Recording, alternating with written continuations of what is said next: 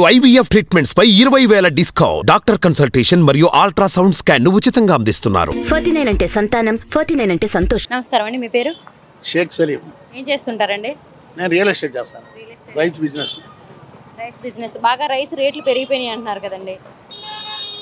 కేంద్ర ప్రభుత్వ రాష్ట్ర కేంద్ర ప్రభుత్వ విధానాల వలన ఆ ట్యాక్స్ యొక్క వ్యాట్ ట్యాక్స్ దాని వలన రేట్లు పెరుగుతున్నాయి. మరి రైస్ రేటు పెరిగింది అంటున్నారు ధాన్యం రేటు కూడా పెరిగిందండి ప్ర- రైతులకి.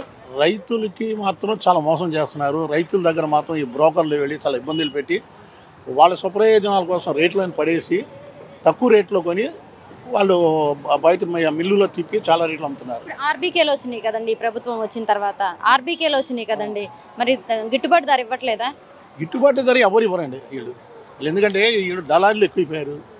ఈ కేంద్ర ప్రభుత్వం దళారుల వ్యవస్థ ఎక్కువైపోయింది. ఈ మోడీ ప్రభుత్వంలో చాలా ఇబ్బందులు గురవుతున్నారు రైతులంతా.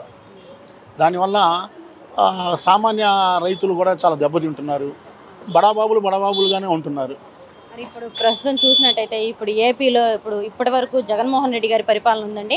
అసలు ఎలా ఉందండి పేద ప్రజలకు కానీ సామాన్యులకు కానీ మంచి జరిగిందా లేదా?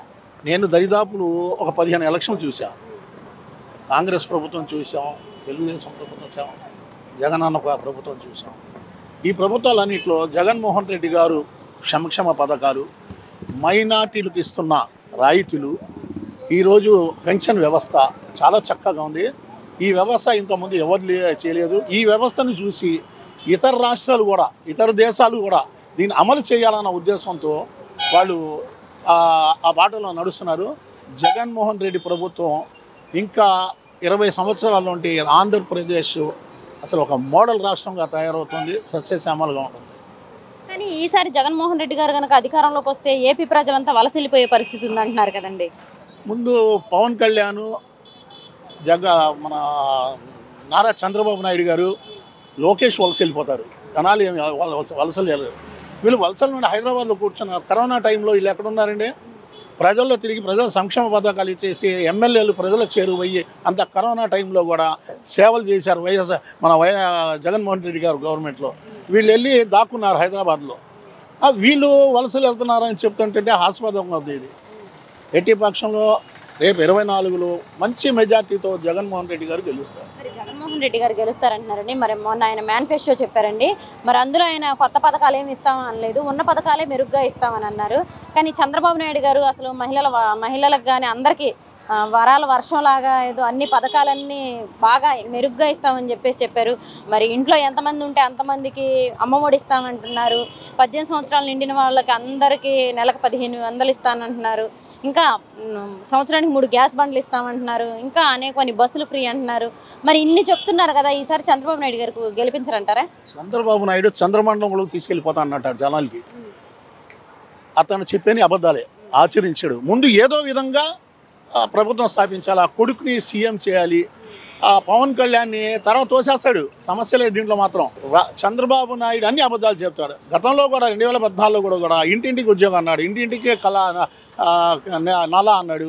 చాలా చెప్పాడు. నిరుద్యోగ వృత్తి ఇస్తానన్నాడు ఏం ఇవ్వలేదు. ఏం ఇవ్వలేదు? అతనంతా దగాగా దగా మాటలు చెప్తాడు. ఆచరించే మాటలు చెప్పడు. జగన్మోహన్ రెడ్డి గారు ఏం చేస్తానంటాడో అదే ఆచరించేటట్లు మేనిఫెస్టోలో పెట్టాడు. అది సాధ్యం అయ్యేది. చంద్రబాబు నాయుడు పెట్టింది ఒక్కడి కూడా సాధ్యం కాదు. అతను ప్రభుత్వం వచ్చిందంటే ఈ రాష్ట్రం నాశనం అయిపోద్ది. మరి ఆయన మరి మొన్న జగన్మోహన్ రెడ్డి గారు ఆయన ఒక సభలో జగన్మోహన్ రెడ్డి గారిని విమర్శిస్తూ అనేకమంది మాటలు అన్నారండి. దాన్ని ఎలా చూడొచ్చండి చంద్రబాబు నాయుడు చాలా నీచమైన మనిషి. ఏమైనా చెప్తాడు. రాజా అతను గతంలో కూడా బీజేపీని విమర్శించాడు. మోడీని కలిసినందుకు నేను క్షమాపణ చెప్తున్నాను అన్నాడు. ఎన్నో చెప్తారు ఇతని మాటలు ఎవరు పట్టించుకో ఈ రాష్ట్రంలో. ఈ దీంతోనే తెలుగుదేశం పార్టీ దుకాణం బంద్.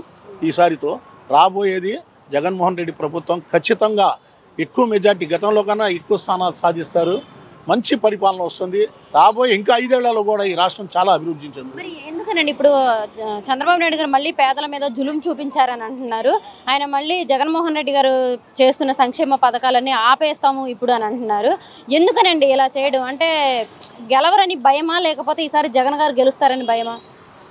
అతనికి లోపల చాలా భయం ఉంది. ఈసారి ప్రభుత్వం రాదని అత్యంత ఖచ్చితంగా తెలుసు అతనికి. దీంతో అయిపోతుందని ఇక తెగించి ఏదేదో చెప్పేస్తూ ఉంటాడు. అంతేగాని జగన్మోహన్ రెడ్డి గారు ఏ మాట చెప్తే అదే మాటని ఆచరిస్తాడు. ఈ రోజులో గత మేనిఫెస్టోలో తొంభై తొమ్మిది శాతం అమలు చేసిన ఘనత ఈ రాష్ట్రంలో జగన్మోహన్ రెడ్డి గారికి దక్కింది. గతంలో ఎన్నో ప్రభుత్వాలు చూసాం మేము. ఇలాంటి మంచి సీఎం ఇంతవరకు చూడలేదు. చక్కటి సీఎం మంచి పా పాలన చేసే సీఎం ఎవరంటే జగన్మోహన్ రెడ్డి గారు. మైనారిటీలు అండి మరి అసలు ఎస్సీ ఎస్టీ బీసీ మైనారిటీలకి ఎలాంటి మంచి జరిగిందండి జగన్మోహన్ రెడ్డి గారు ప్రభుత్వం వచ్చాక? ఇవాళ జగన్మోహన్ రెడ్డి గారి ప్రభుత్వం కన్నా వైఎస్ రాజశేఖర రెడ్డి గారు గతంలో రిజర్వేషన్ వ్యవస్థని స్థాపించాడు. దాన్ని అతను ఆ బాటలోనే రిజర్వేషన్లు అమలు చేస్తూ షాదీ తోఫా లక్ష రూపాయలు మైనార్టీలకు సంక్షేమ పథకాలు ఫీజు రియంబర్స్మెంట్ కాలేజీలు ఇలాంటి ఎన్నో ప- పథకాలు అమలు చేస్తుంటే ఈ చంద్రబాబు నాయుడుకి ఏం చేసి ఏ రోజైనా జనాల్లో వచ్చాడా చంద్రబాబు నాయుడు? ఐదు సంవత్సరాలు కూర్చున్నాడు ఆ దత్తపుత్రుని కూ పెట్టుకున్నాడు ఈడేమో ఆ పప్పు గడ్డి తీసుకెళ్ళి రోడ్డు మీద పంపించాడు ఆడికి ఏం చెప్పాలో అర్థం కాదు. ఆ మంగళగిరి మందలగిరి అంటాడు అసలు ఏం చెప్తాడు కూడా అతను తెలియని పరిస్థితి. కాబట్టి ఎట్టి పక్షంలో ఈ దెబ్బతో దుకాణం బంద్ తెలుగుదేశం పార్టీ. పవన్ కళ్యాణ్ గారు కూడా ఈసారి ఎలాగైనా సరే కూటమిని గెలిపించాలని చెప్పేసి ఆయన పొత్తు పెట్టుకున్నారు కదండి. చంద్రబాబు నాయుడు గారు అయితేనే ప్రజలకు మంచి చేయగలరు అని చెప్పేసి చెప్తున్నారు కదండి. పవన్ కళ్యాణ్ గురించి ఎవరు పట్టించుకో జోకర్ అతను. చంద్రబాబు నాయుడు కూడా అతన్ని అడ్డం పెట్టుకొని ఏదో సాధిద్దాం అనుకుంటాడు. గతంలో అతని తన సీటే తాను గెలిపించుకోలేకపోయాడు. ఇంకెందుకంటే సిగ్గుచేటైన విషయం. సినిమా యాక్టర్ అంటాడు ఏదో అంటాడు అది అలాంటి ఒక్క సీటు కూడా అతను సంపాదించుకోలేకపోయాడు. పవన్ కళ్యాణ్ అనేవాడు జోకరు. పవన్ కళ్యాణ్ ఎవరు ప్యాకేజ్ ఇస్తారు అతను? ఎవరు డబ్బులు ఇస్తే రేపు రేపు వైఎస్ఆర్ గవర్నమెంట్లో వచ్చే మేము ప్యాకేజ్ ఇస్తానంటే వచ్చేస్తాడు సమస్య లేదు. కానీ అలాంటి యథో పనులు జగన్మోహన్ రెడ్డి గారు చేయరు. జగ జగ మన చంద్రబాబు నాయుడు పప్పు మన పవన్ కళ్యాణ్ చాప్టర్ క్లోజ్ అయిపోయినట్లే ఇక.